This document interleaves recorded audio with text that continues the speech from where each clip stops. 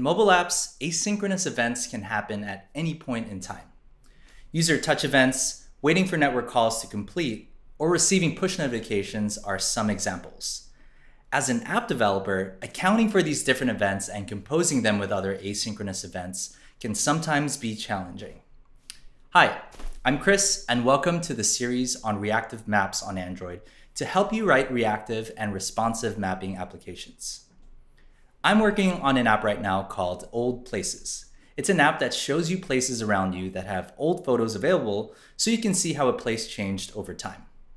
I want my app to be responsive to user events, so not only do I want my app to show places around them, but I want my app to respond and show more places as they move around the map.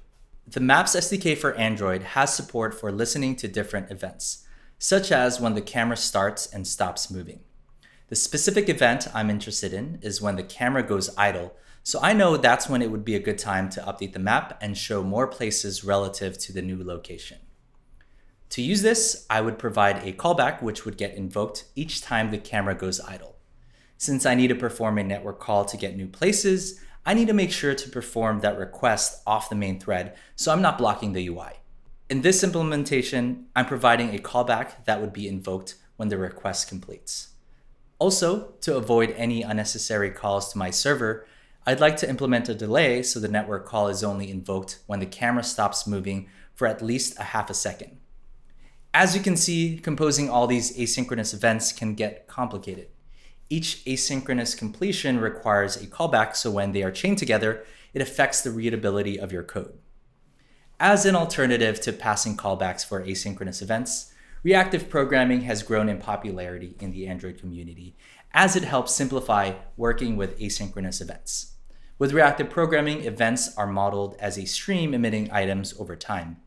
Using libraries that I'll be sharing with you in the series, you can rewrite the same code to listen to camera events, to either a Kotlin Flow object with the maps KTX library, or to an RxJava observable object with the maps Rx library.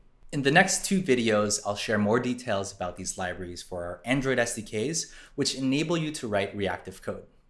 With the KTX library, you can use Kotlin flows, and with the Maps Rx library, you can use RxJava's observable objects to receive events. Both of the libraries will enable you to write code in a reactive manner. The specific one you should use in your app is completely up to you and should be weighed against your app's architecture. If you want to dive right into the code, check out the GitHub links in the description of the video below.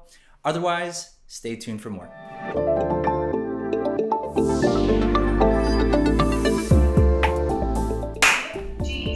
Oh.